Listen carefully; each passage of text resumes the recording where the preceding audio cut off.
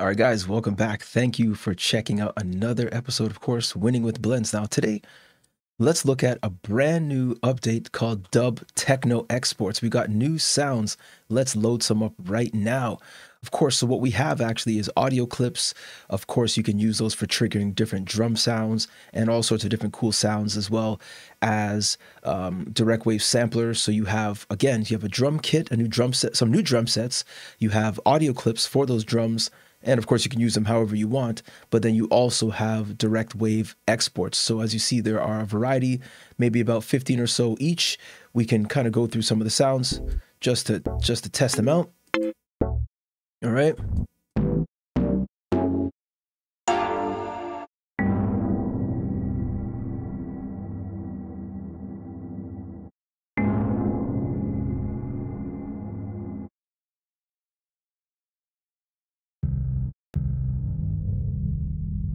Right? These sounds got some really nice atmosphere. Let, let's keep diving in. Okay, so, ooh, that's actually really, really, really nice. Okay, so what I did was I created a little something. Let's just take a listen to it. All right.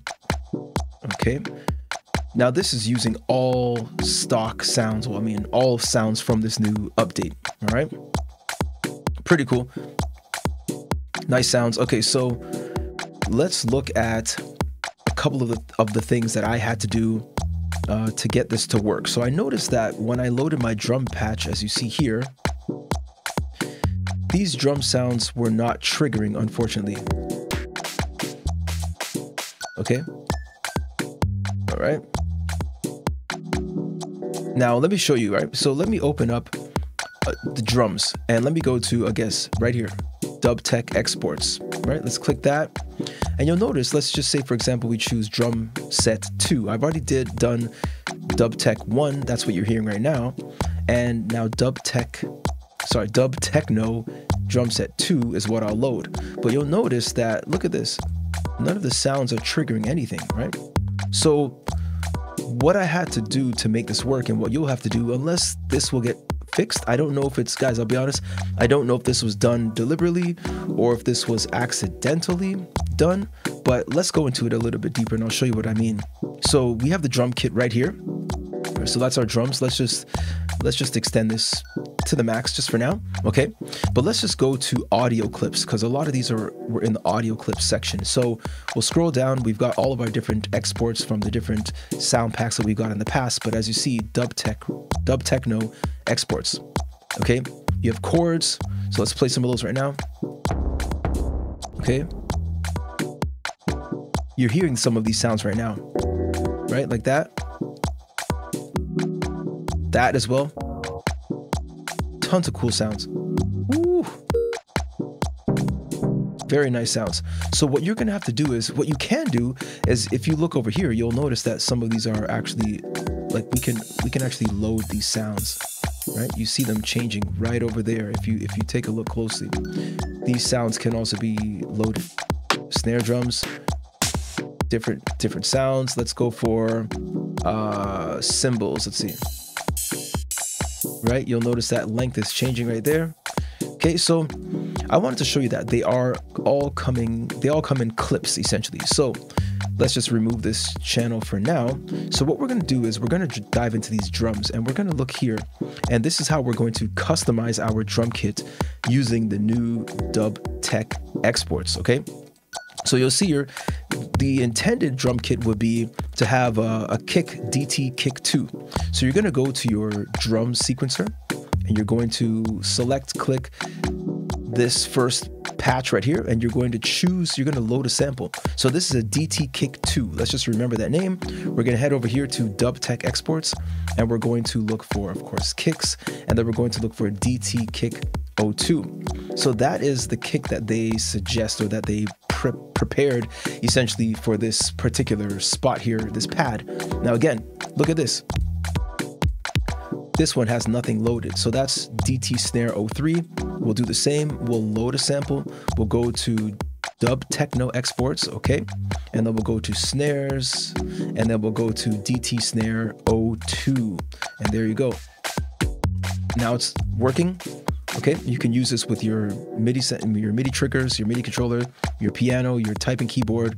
Um, I guess uh, what else? What else? You can you can use it for many things. Let's see. So let's go. You can use it. Sorry, with many tools. Now let's go to the next one. DT Snare Four. Let's do that here. Again, we'll just load a couple more. Okay, so dub techno. We're gonna go to snares and we'll go to DT snare four. And then of course the next will be clap. So we go to clap, that's clap two. Let's load that sample. Again, dub techno, load sample, go to claps and clap 02. Guys, I did this for some kits already. So I've got some kits already prepared. As you hear, uh, the music you're hearing now is actually 100% these sounds, okay? So let's go to the hi-hats and let's go hi-hats two that's closed. As you see down here, this HHO, which is open. This is closed. Now this is HHO2, which is open. So I'm gonna see if I can fill out this drum kit one, maybe one or two more sounds. Uh, this is the open. So let's go to open two and let's go HHO. Okay. Let's actually do a couple more. I know I said it's gonna do a couple, but I really do want to fill this out. Okay. Oh. Nice. So this is a hi-hat or cymbals. This is essentially cymbal one. So let's just load that up.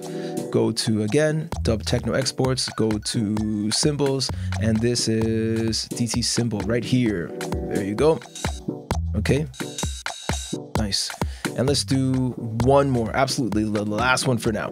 DT Percussion 02. We're going to load that up again. Dub Techno Exports. Go to Percussion. DT Perc 02 is the one. Okay, and you guys, of course, can fill out your own. Now, of course, if you guys take a look at my previous video on how to create um, custom drum kits, you guys can definitely watch that. I will tag that as well. Guys, thank you. Again, it's Justin Blends. We're back for updates for you FL Studio Mobile producers. Check the comment section. Uh, you know, sorry, leave a comment in the comment section, of course. Give a thumbs up if you guys like this. Also, check the description because I'm doing I'm essentially adding some some gear and such that I use, some things based on requests as well. Just guys, essentially things that I think would be really beneficial to anybody who wants to to dive in a little bit deeper and join me on this quest, this mission, right? I've got a video upcoming that shows you a really cool um, USB, sorry, Wi-Fi MIDI controller, and that will be dropping maybe today or tomorrow. But let's get into it a little bit deeper just to show you guys kind of what I did here, just a little bit. So I got my drums here. Let me solo these here, okay? So I got this one here, right? This percussion and these chords, okay? Simple, okay? Now let's go down to the next one. Let's let's uh get these drums on. It's a hi-hat, simple, just a hi-hat. This is chords. And as you'll you'll notice, I completely separated these tracks because I want I just want to have a little bit more control. Even though I could have used the exact same setup as we have right here, and I could have made adjustments to the auxiliary sends that we have. So I could have sent each of these, like I said in previous videos, again, the same customizing drums and, you know, making custom drum kits. You could send each of these sounds to their own auxiliary channel for parallel processing. So I definitely, absolutely really love that. And of course I added some, just some classic house bass right here. Okay. And of course a little bit of extra sounds here, right? Let's just let that. Okay. Right. Uh, okay. All right, guys, look, I hope you enjoyed this one. Until next time, all right, guys, again, let's win together. As always, take it easy, all right?